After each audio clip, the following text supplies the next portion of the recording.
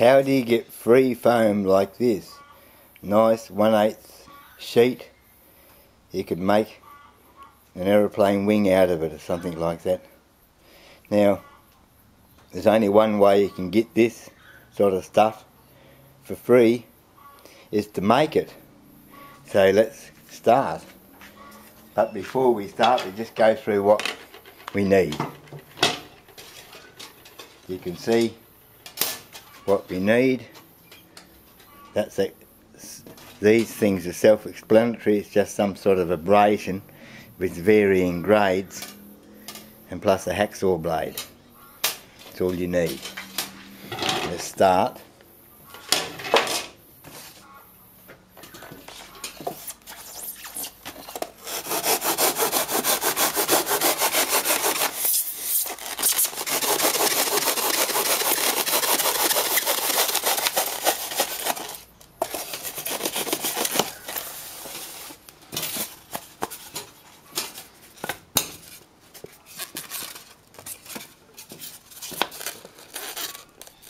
Go choose the thickness you want, so a little bit thicker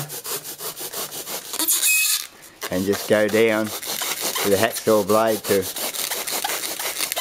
as deep as you can without straying, without the blade straying, you know what I mean? You've got to have the blade like this, not like that or like that,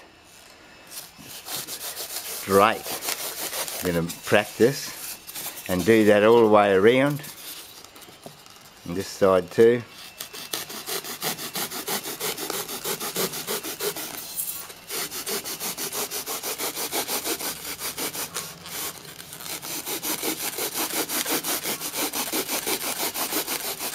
Do the same on that side, both sides.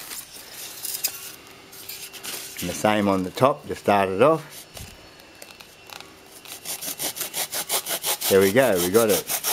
We're starting. Now all you do is just go down and go down on an angle and then change over the sides and go on an angle this way and just keep doing that and saw it straight for a little while and then go down on an angle again and use the side bits as a guide. Whoa. Go down a bit. Other side. It's a little hard to hold, a bit tricky to hold. There we go. We're doing it like that, you see. Hope you can see it. Going side to side and just keep going straight down for a little while and nice and steady. Be careful. The more care you can take doing this, the less you have to worry about it later when you're filing it. There we go, it's nearly finished, like slicing it like slice, sliced bread. And there we got, they got a fairly dark setting so you can see that. You see, it's not quite even. It's pretty good that size. Always use the good side. It saves a lot of work, but you can do it on a rough side. Now start off with the rough one.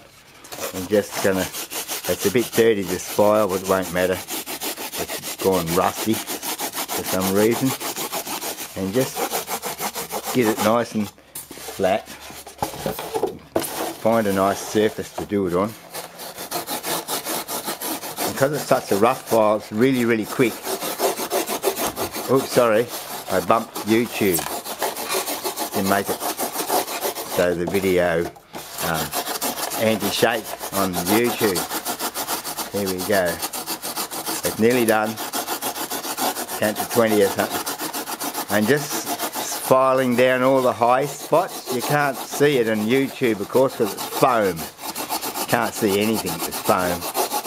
Can't see any detail. But just file down all the high spots and that's it, and it's done and you go down your grades. I got this for another grade. You can use what you like, as long as it's some sort of abrasion, sandpaper or emery paper and this is not too bad this one. It smooths it off. It's still really rough but it comes up with a lot better finish than the other one of course.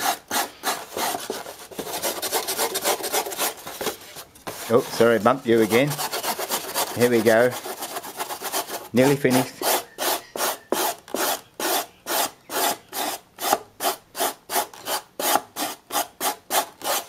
Just got to check see if it's nice and flat before you go off this.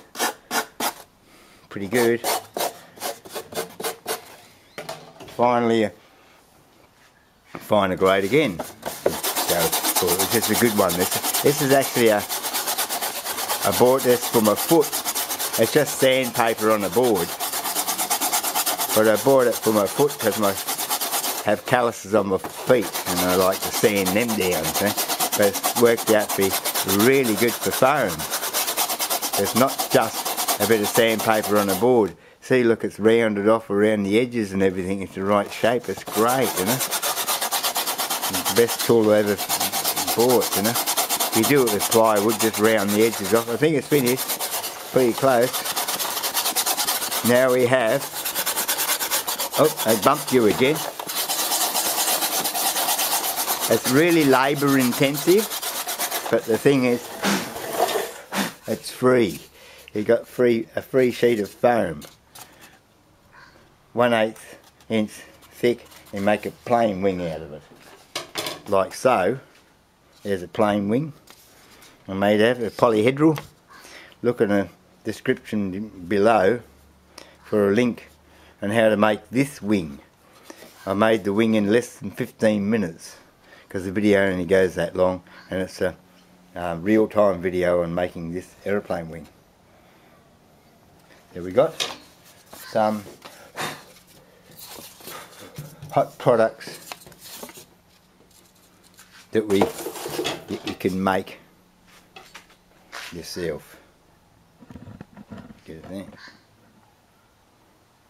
For free.